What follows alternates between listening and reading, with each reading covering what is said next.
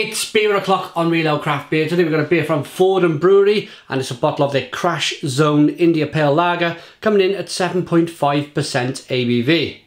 There's a look at the label. There's the bottle cap.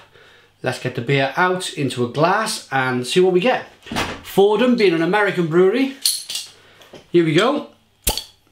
Nice bit of smoke on the bottle opening. Beer in the glass then.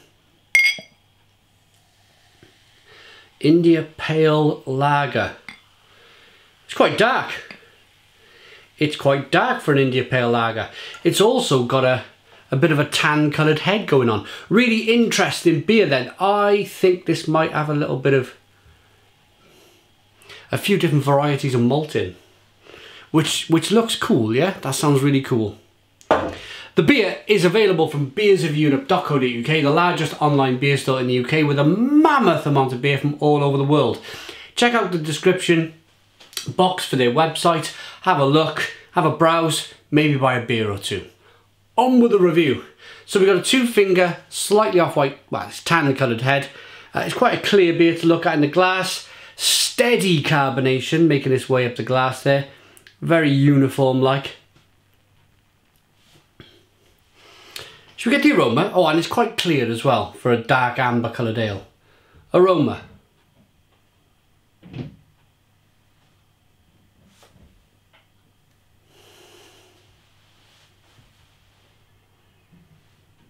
Yeah, a lot of biscuit malt in here. It smells really tasty. It smells like a kind of a German dark lager. And it's going to have some American hops in, so...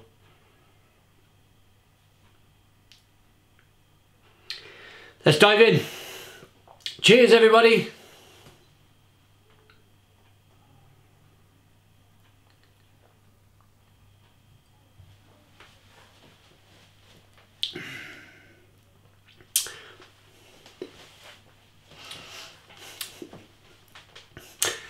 Mmm, interesting beer, really interesting beer. I keep swaying back and forth. Um, the, the, I nearly went Stone the Crows. I, I nearly did that kind of whole Stone the Crows thing and then I stopped. I stopped because um, there really is quite a big bitterness on the on the back end. It starts off with some lovely biscuity, bready malt flavours. And then the hops become quite... It's a powerful hop back end. It's let's let's dive in. Let's let's talk and drink. Yeah.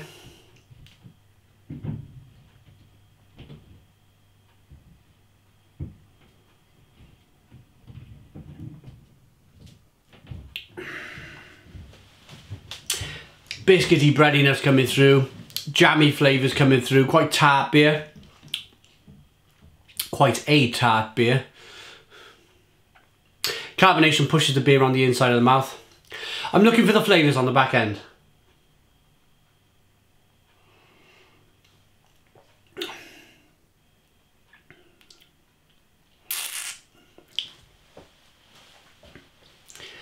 I'm I'm looking for some grapefruit and some it's just like biting into orange peel. There's no real fruit there. It's like the that quite nasty orange peel zest that you bite into. You know, it's not nice, is it? That's the best way I can describe the bitterness on the back end.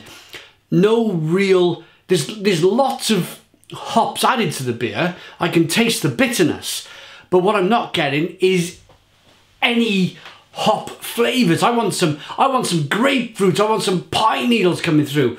I want some mango and tropical fruit flavors, some lemon. I'm not getting any of that. I'm really not getting any of that. I'm getting, I'm just getting orange peel. You know when you screw your face up? When you're a kid, you don't do it when you're, a, you're an adult because you kind of know. You grow up and you know not to do that type of thing. But when you're a kid, I mean, it's always fun to bite on an orange peel or something and go, you know? But it's a bit like that. So much promise. The beer looks fantastic. Good lacing on the glass. Biscuity bready malts. Good nice kind of toffee flavours coming through, and and they're the they're the highlights of the beer for me.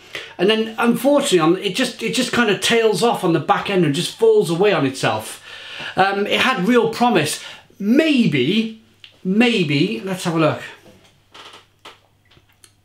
So the best before date is the is February 2018. It is currently November 2017. So we got three months on the on the shelf life left on this beer, and you would expect some hop flavour to, to kind of pronounce itself in the beer.